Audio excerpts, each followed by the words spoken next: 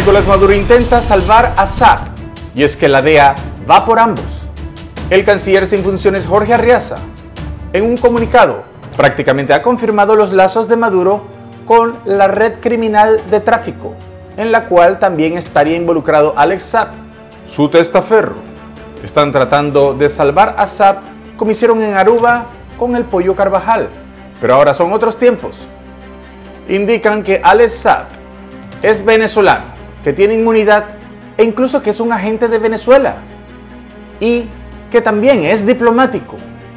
Todas las excusas que puedan están tratando de salvar a Alex Saab. De hecho, Nicolás Maduro habría mandado ya a varias personas para que negocien allá en las islas de Cabo Verde. Y es que Alex Saab sabe mucha información y al ser extraditado a Estados Unidos, la DEA le va a sacar toda la información actual de los negocios ilícitos de Maduro y mucho más. No solo los acabarían, sino que tendrían más opciones para detener Maduro por los cargos que se han puesto en Estados Unidos a través del fiscal William Barr.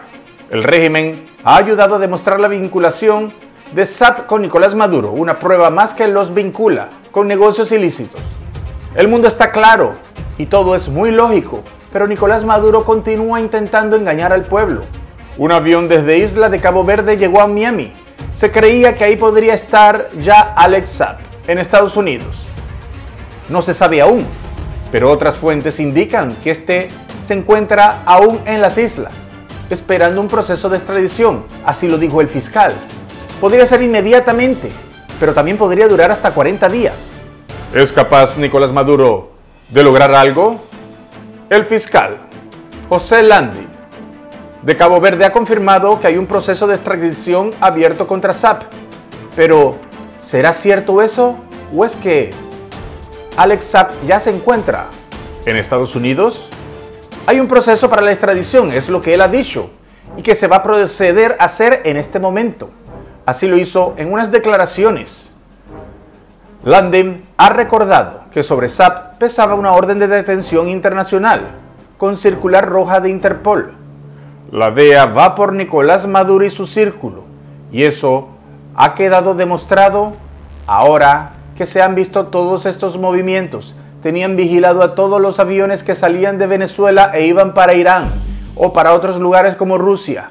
No se sabe aún si este avión venía de Teherán o venía de Rusia, pero sabemos que Alex Saab tiene demasiada información y que Nicolás Maduro no puede ni dormir porque esta es una gran pesadilla que lo va a poner a nivel internacional como uno de los que se dedican al tráfico ilícito y que han perjudicado a millones de personas y que por esto Nicolás Maduro es un riesgo internacional.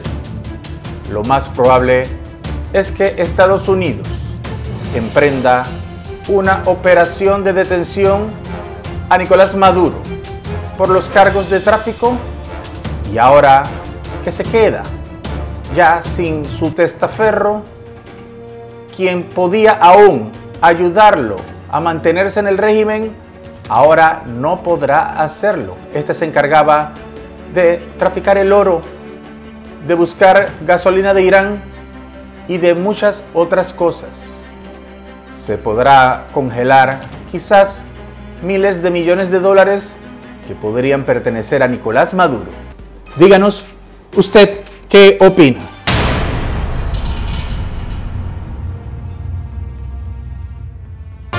Déjanos tus comentarios y recuerda suscribirte a nuestro canal